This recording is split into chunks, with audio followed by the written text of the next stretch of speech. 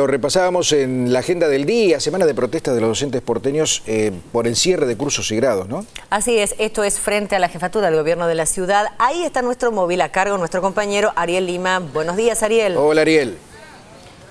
El gobierno de Mauricio Macri atenta contra el derecho social a la educación al pretender amontonar alumnos en las aulas sin ninguna consideración pedagógica. Este es uno de los párrafos, Pedro, Claudia, de un comunicado del gremio de los maestros de Capital, UTE CETERA, que han concretado esta protesta con una carpa frente precisamente a la jefatura del gobierno porteño, en donde se están concentrando y en donde en unos minutos más va a haber una conferencia de prensa con la presencia de la secretaria general de CETERA, eh, Estela Maldonado.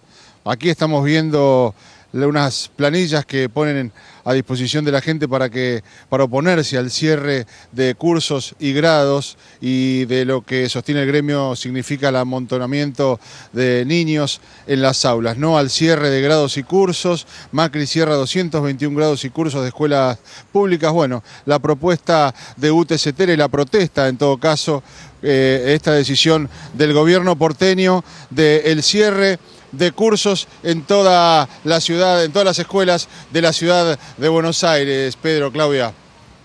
Muy bien. Estaremos atentos ante cualquier novedad, por supuesto, desde el Centro Porteño. Gracias, Ariel. Hasta luego. Gracias a ustedes. Hasta luego.